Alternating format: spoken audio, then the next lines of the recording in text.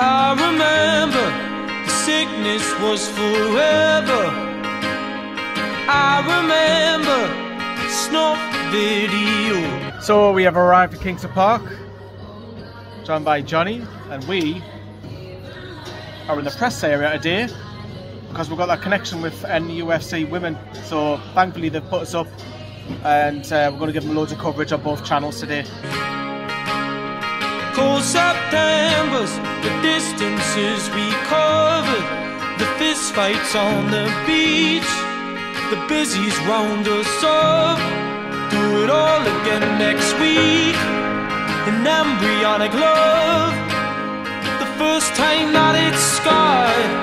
Embarrass yourself for someone, crying like a child, and the boy you kicked Tom's head in still bugs me now. That's the thing, it lingers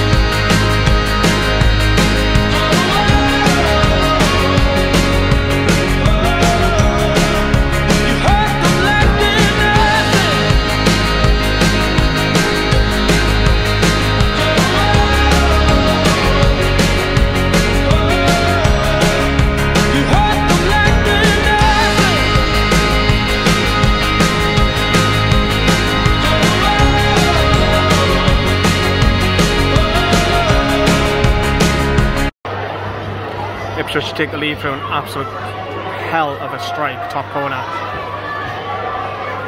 Katie Barker's arguing with the referee saying handball, the decision wasn't given. But Ipswich have taken the lead very early on.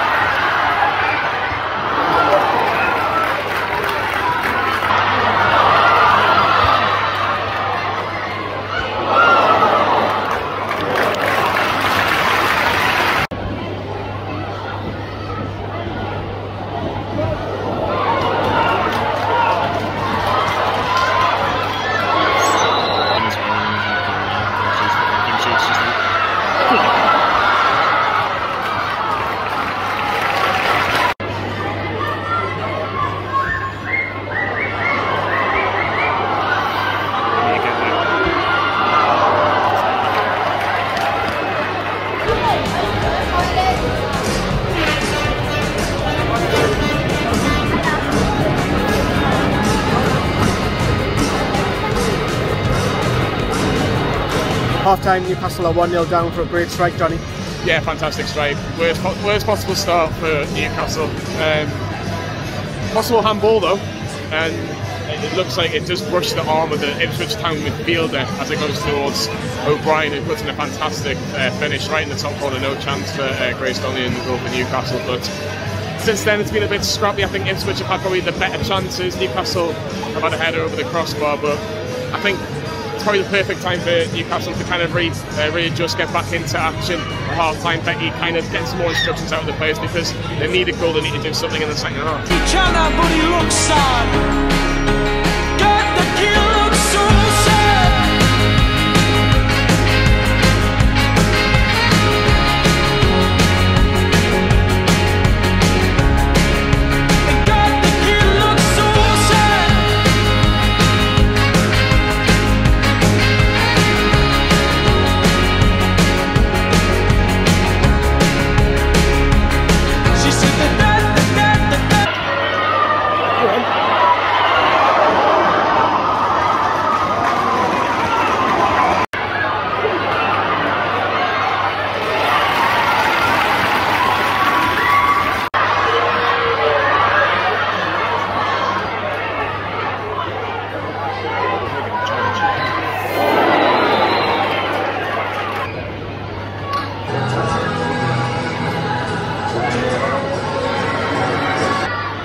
official attendance yet it is 2,756. What a turnout for the ladies. Brilliant.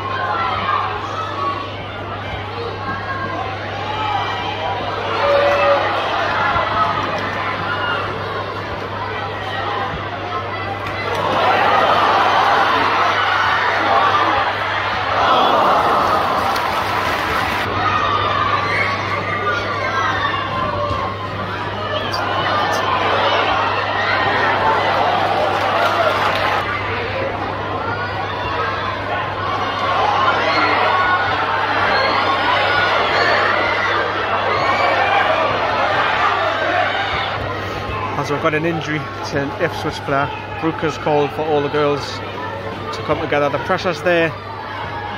We're Going to go into the last 10. The focus, of course, is to put pressure on Ipswich's box. You can hear the young young fans singing Newcastle